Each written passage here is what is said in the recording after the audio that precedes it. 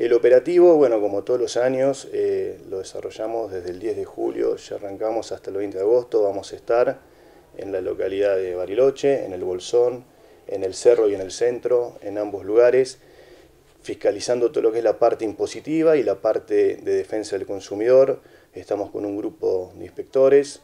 ¿no? recorriendo todos los, todos los comercios y bueno, y forma todo en conjunto parte del operativo, lo que es turistas protegidos, información de esta nueva ley y bueno, y los controles son los que hacemos todos los años, donde estamos viendo la entrega de tickets, factura, que tengan las actividades de alta, la correcta inscripción en ingresos brutos, la exhibición de precios,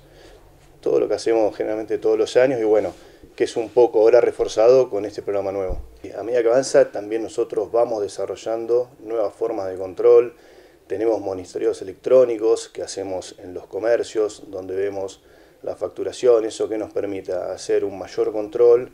controlar a más comerciantes y también un poco la información nos permite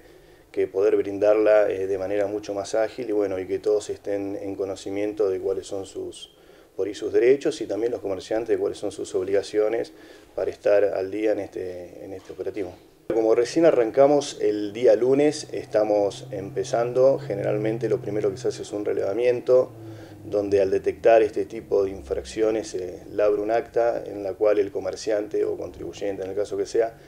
puede responder, puede hacer su descargo y después en base a eso el procedimiento administrativo es que nos habilita a sancionar o en el caso clausurar si es necesario. Así que estamos en esa instancia, por lo pronto este, esa información la vamos a tener más adelante.